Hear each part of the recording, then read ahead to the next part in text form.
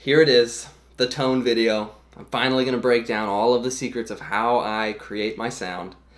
They're not really that big of secrets. If you've dug through the comments on my YouTube videos or on Instagram, I answer people's questions pretty regularly about how I record, the effects that I use, and all that stuff. But in this video, I will consolidate everything and we're to go take a look at every single component, piece by piece, of how I create my sound. But first, I have some super exciting news to share, and that is that my Patreon is live. So please, check the link in this description and go take a look at my Patreon. So here's a bit about how it works. Every single month, I'm going to be posting two guitar lessons that'll be available for patrons. Six bucks a month will get you one of these videos. They're each going to be like 10 to 15 minutes long, and they're going to cover a wide range of topics from theory to technique, all this cool stuff. 10 bucks a month gets you two videos. So right now, as we speak, there are already two guitar lessons waiting for you to sign up and get access to them. So there's one video about how to play more dynamically, how to make your playing more expressive, and then there's another video about how to play spread triads, or the 1-5-3 chord voicing that I am super fond of. And in just a couple of days, there's going to be two more videos. One about the CAGED system of how we can connect chord shapes all over the neck, and one about some super cool chord inversions. So in a couple days, there's going to be four guitar lessons up and available to you if you want to become a patron. $6 gets you one video a month, $10 gets you two videos a month. Please, please, please go check out the link in the description and visit my Patreon. I would be super happy to see some of you over there. Okay, let's get to the tone. How do I do it? So, the I'm going to go piece by piece, starting with the guitar, then I'm going to talk about the gear, then I'm going to talk about the software. So, first things first. This is a Gibson SG faded special that I modded. I took the stock pickups out and I put in these two guys. This is an this is Gibson's Angus Young signature humbucker. The whole reason I got the SG in the first place is because I wanted to play like Angus. I was a huge ACDC fan when I was younger. So I totally, that's why I have this guitar. These days, I basically never use this pickup. I only use this guy. This is a Seymour Duncan Hot P90.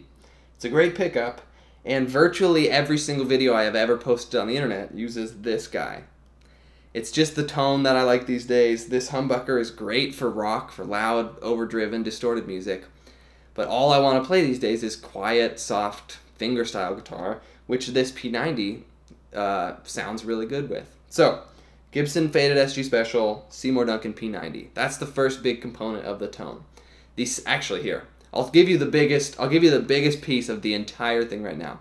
The best thing that you could do right now if you wanted to play more like me was start finger picking. This is this is the biggest most important factor of all of the pieces. Finger style, playing guitar with the fingers.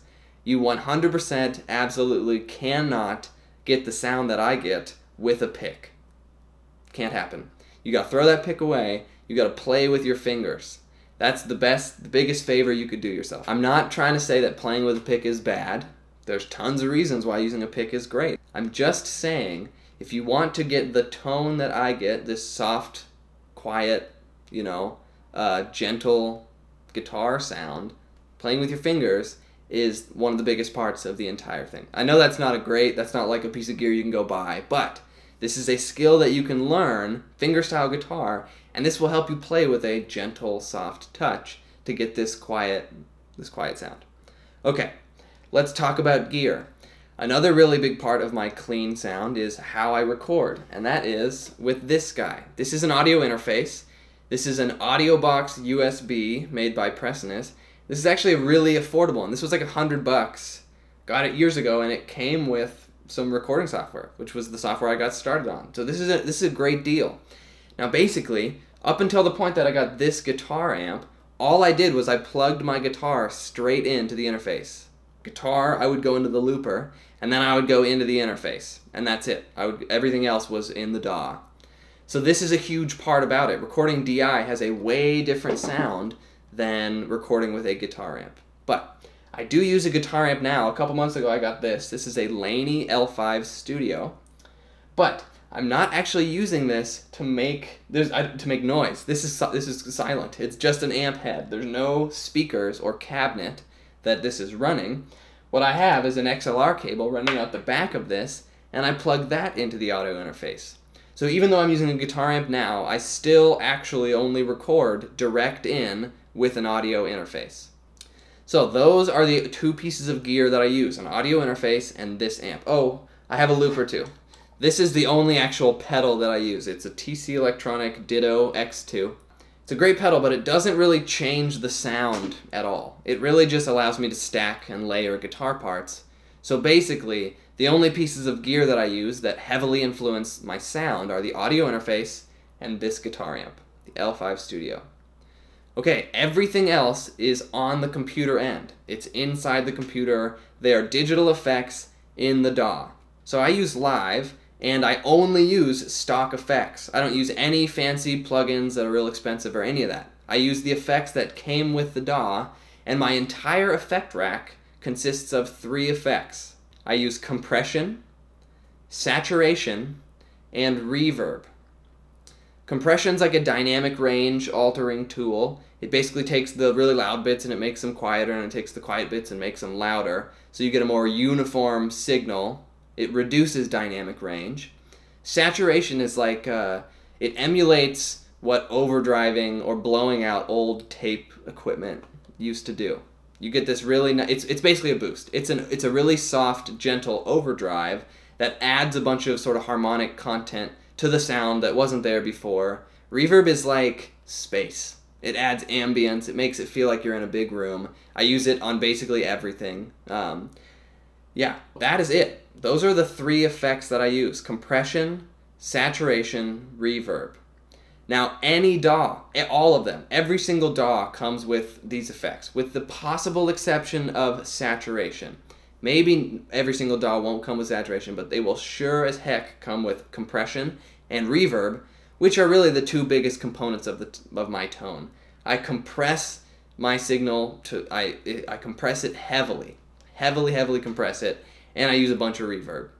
So that is it. That's every single piece of my tone. If you are dead set on trying to recreate it, here is my advice. Get a single coil pickup, play with your fingers, record direct in, either using an amp or just plugging your guitar straight into the interface. Before I got this amp, that's what I did. Uh, literally, I went from guitar to looper to interface. Everything else was in the computer. So, record DI with or without an amp, and then use compression, saturation, and reverb. And dial them in kind of lightly, with the exception of compression. I compress heavily. I heavily compress the sound. But reverb and saturation are just kind of sprinkled in there just to give it a little bit of a little bit of more more tone. But basically, you can create this sound if you follow those steps. Single coil, finger pick, DI, compression, saturation, reverb. That's it. That's it. There's nothing crazy. There's no fancy, super expensive plugins. No crazy pedals. It's just three software effects and recording DI. That's basically it. I hope you got a lot from this. Ask any questions in the comments below, and I will do my best to get back to you, and I will catch you next time. Peace.